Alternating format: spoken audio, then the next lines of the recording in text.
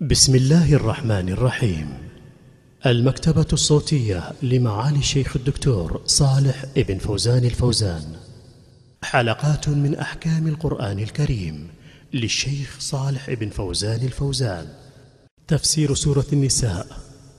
الدرس الثامن. بسم الله الرحمن الرحيم. الحمد لله رب العالمين. وصلى الله وسلم على نبينا محمد وعلى آله وأصحابه أجمعين.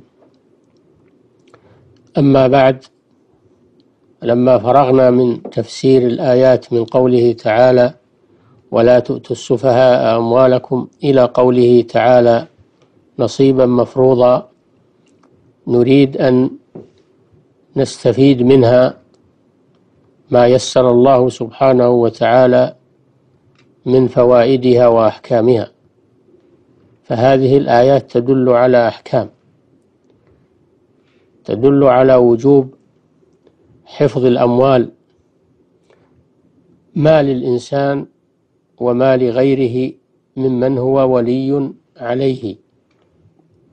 وأن هذه الأموال لها قيمتها ومنفعتها للمجتمع.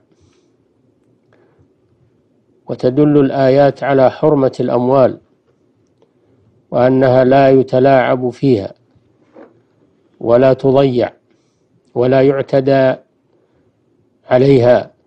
قال صلى الله عليه وسلم كل المسلم على المسلم حرام دمه وماله وعرضه.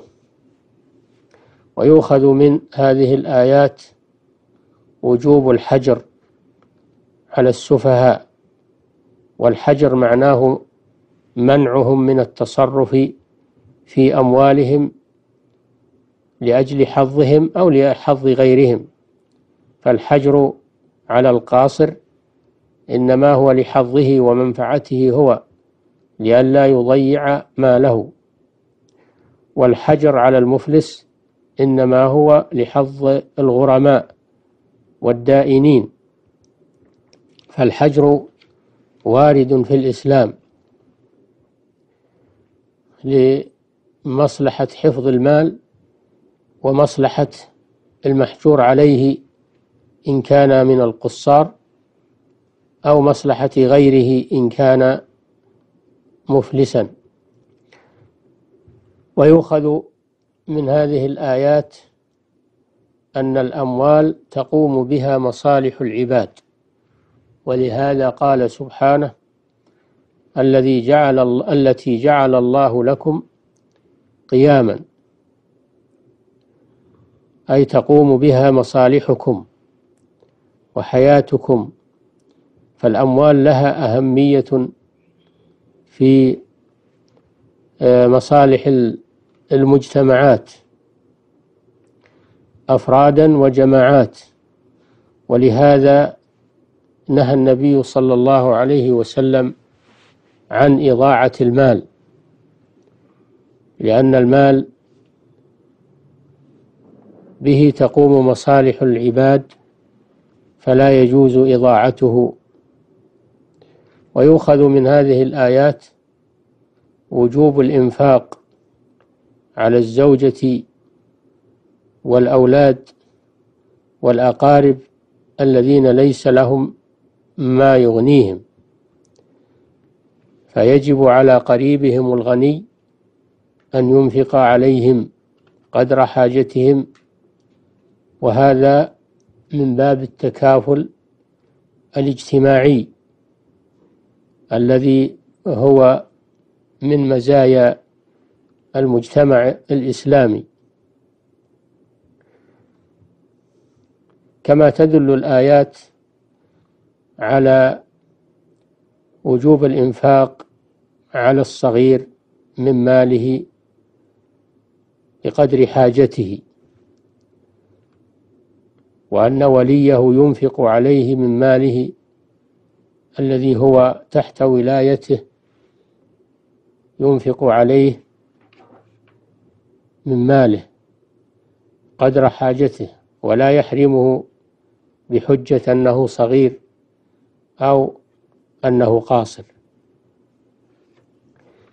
وفي قوله تعالى فارزقوهم فيها ولم يقل منها دليل على أنه يجب أن أن تنمى أموال المحجور عليهم من الصغار ومن في حكمهم أن تنمى بالاتجار فيها حتى لا تأكلها الزكاة وحتى تكون ولا تأكلها أيضا النفقة فتكون آه، تدور في التجارة والتنمية حتى يحصل منها أرباح تسدد الإنفاق وتسدد الزكاة وتزيد في الأموال. ويؤخذ من هذه الآيات تطييب خاطر اليتيم بأن يقال له بأن يقال له قول معروف يطيب تطيب به نفسه. بأن يقال مثلا إنه سيعطى ماله إذا كبر وأن ماله محفوظ لمصالحه. حتى يحسن استلامها والتصرف فيها وأنه ليس المقصود من من الحجر عليه ليس المقصود حرمانه من ماله. كما يؤخذ من هذه الآيات وجوب دفع مال اليتيم إليه.